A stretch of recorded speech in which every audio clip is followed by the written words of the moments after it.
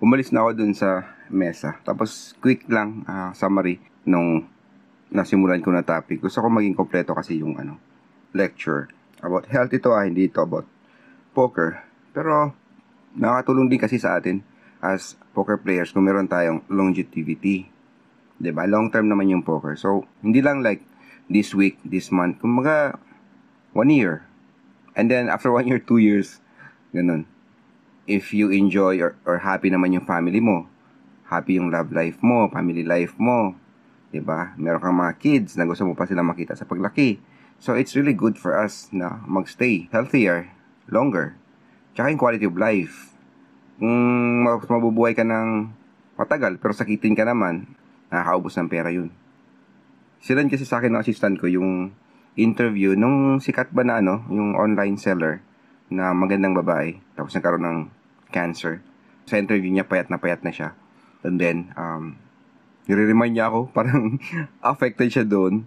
Sabi niya, huwag kang ano ah, huwag ka nang lagi nagpo-food panda. Kasi alam niya, halos wala na akong oras. Food panda na ako everyday. Tapos, dahil napupuyat, dahil ko mainom ng Cobra Energy Drink. Basta yun lang inulit niya sa akin. Tatlong bagay. Sabi niya, huwag ka nang laging mag-food panda. Huwag kang laging inom ng mga energy drinks. Energy drinks. Ayan, enunciate. Storya tarong ba? Tapos, uminom ka na maraming tubig, sabi niya. So anyway, parang ganun din. Same naman na concern is we want to be healthy longer. So yun, about sa food, iwasan na lang natin kumain ng karne or mga ano, high protein unless meron kang condition like meron kang sakit and you're recovering or regular ka nag-exercise, pupunta ng gym, nag, nag-weightlifting. Siyempre, pag nagwe-weightlifting ka o resistance training, lumalaki yung muscles mo, kailangan mo ng protein. O kaya, yung buntis, syempre mayroon kang dinadala. So, ano yan, kailangan ng protein. Yun lang ang alam ko guys. Other than that, konti lang yung protein natin na kailangan. Enough lang na i-replace yung mga, like yung dead skin. ba diba? Nagpapalit tayo ng complete skin every 2 weeks. So, pinak pinakamalaking organ sa katawan, yung skin. Pero very small lang yung kailangan nating protein. So, eat less. I would suggest carbohydrates if regular ka nag exercise kasi nagbo-burn up ka naman ng fuel, 'di ba? Yung carbon na na-discuss ko kanina, carbon fuel, 'di ba? Nasa carbohydrates lang siya. So, pag binaburn natin naman yung carbohydrates, ganyan, that's normal. Kung hindi ka naman nag exercise don't eat a lot kasi yung mga carbohydrates na hindi natin nagagamit, kino-convert lang yan into fat. So, pabigat lang yan sa katawan. Tapos, yun nga, mas mataba ka, mas mabigat ka, mahirap kumilos.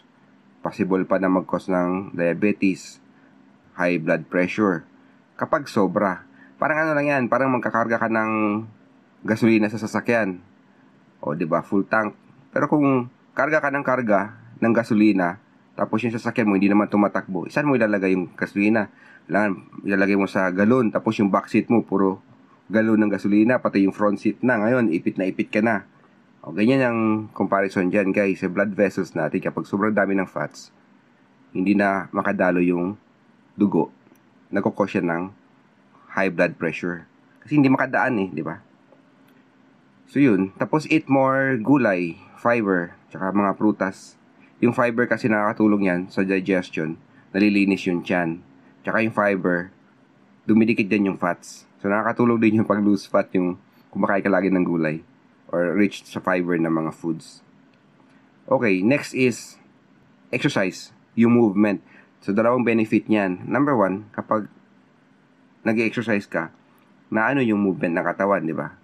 Yung ate ko, matanda lang sa akin ng, I think, 4 years.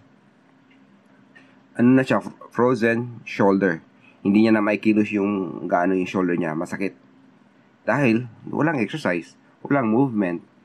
Ganyan. So, kailangan mayroon tayong movement. Tapos, kapag hindi natin nagagamit yung muscles natin, nawawala. Lalo tayong manghihina. So, kailangan exercise. Pangalawang benefit is, kapag nag-exercise ka, nangangailangan ka ng oxygen, lumalakas yung breathing mo, yung circulatory system, daloy ng dugo. And third, um, meron kasi mga ano guys, merong system sa katawan na nag, naglalabas ng toxic. Alam niyo yung mga lymph nodes. Halimbawa, may sugat ka sa kamay, sa siko, ganyan. Parang may, may masakit sa ilalim ng kilikili. Yan, lymph node yan. Parang dyan dumadaan yung mga toxic. Kapag nag-aaway yung bacteria tsaka ano, mga antibodies natin, dyan nalilinis. Tapos kaya namamaga yung mga lymph nodes. Kung dito naman sa itaas, halimbawa, may infection sa ulo, dito naman sa ilalim ng panga, yan, lymph node. Yung lymph node, circulatory system din sila, pero wala silang sariling pump. Napapump lang sila kapag gumagalaw ka. Or massage. Ganyan.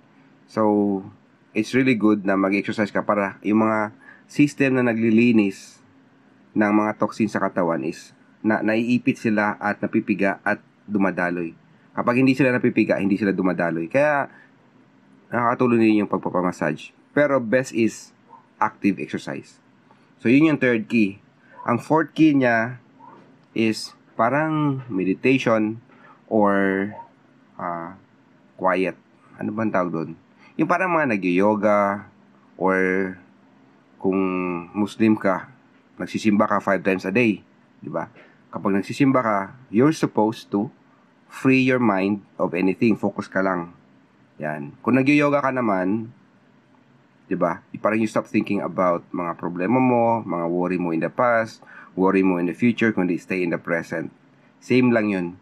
Well, not same in a religious sense, pero ibig sabihin yung effect sa katawan na parang you stop thinking, you stop worrying, you find peace.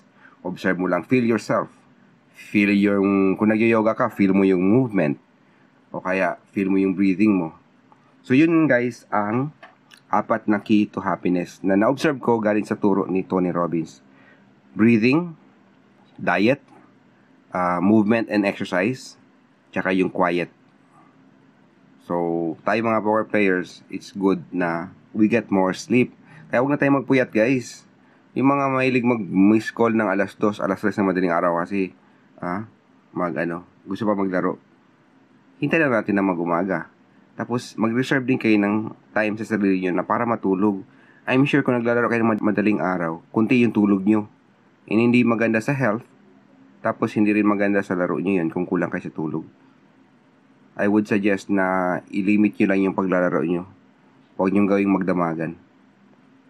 I guess that's it. Um, thank you so much for watching. Bye-bye.